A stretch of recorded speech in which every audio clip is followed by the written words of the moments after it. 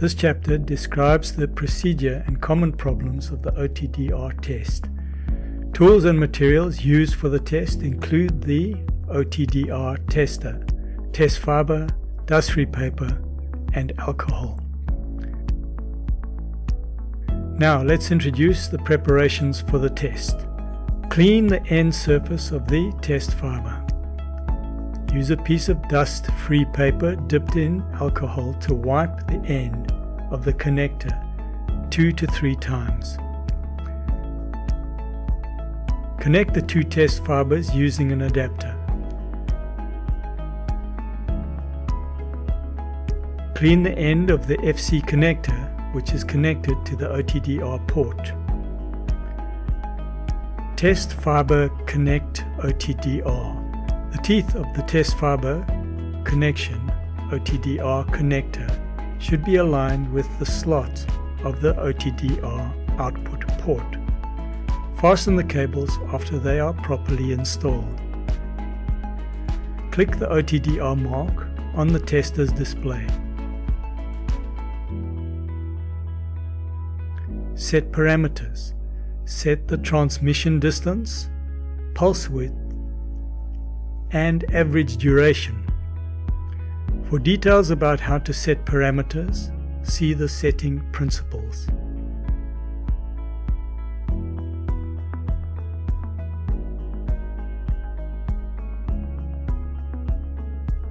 Set the refractive index wavelength provided by the optical cable manufacturer. Select the wavelength again. The tester machine used this time supports two wavelengths 1310 nm and 1550 nm. And this time we choose 1550 nm. Start the test. Find the serial number of the optical fiber to be tested on the ODF. Connect the OTDR to the optical port. Click on the OTDR tester to start the average luminescence. After the test is completed, save the information such as the optical fiber start and endpoint, fiber serial number, and other information. Use the same method to test the remaining optical fibers. Edit and save the test results. Press the measurement icon on the top of the screen to move the AB cursor. Move A cursor to the straighter starting point of the fiber under Test in the curve. Move B cursor to the end of the line segment to the left of the end reflection peak. The attenuation per kilometer is displayed in the lower right corner of the screen. Following is an analysis of the abnormal curve. 1. The curve has a big gap. This may be caused by the fiber being squeezed at the big step, or it is because of the optical fiber coil is too small, or the fusion splicing quality is poor. 2. The big angle may be caused by poor fiber quality and high attenuation, or the optical cable is too tight. The optical cable fiber is not long enough. 3. No reflection peak at the far end of the optical fiber.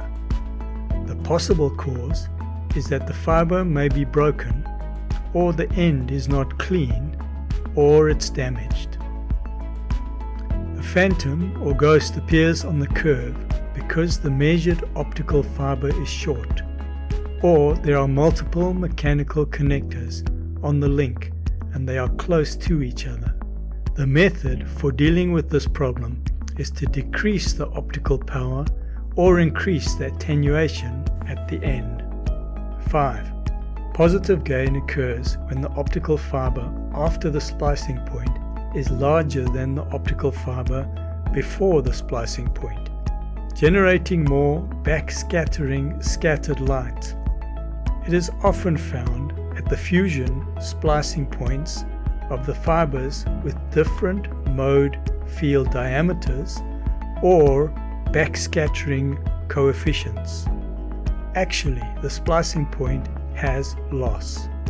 Generally, the value is obtained using the bidirectional average method. 6. The slope of the normal curve is smaller and uniform. The curve is straight, no abnormality exists, the splicing point is not large, and the step has no reflection peak. Common errors in the OTDR test 1. The test fiber ends connected to the OTDR are not cleaned with dust-free paper dipped in alcohol. 2. The teeth of the test fiber connector are not aligned with the slots of the OTDR light emitting port. 3. The connector of the test fiber is not tightened after being installed on the OTDR light emitting port. 4. The test fiber is not fully connected to the accessor fiber and there is a gap between them. 5. The test fiber may be damaged. 6. There's dust in the live connection V's. 7. No oil is placed in the V of the live connection. 8. The end of the live connections are defective and irregular.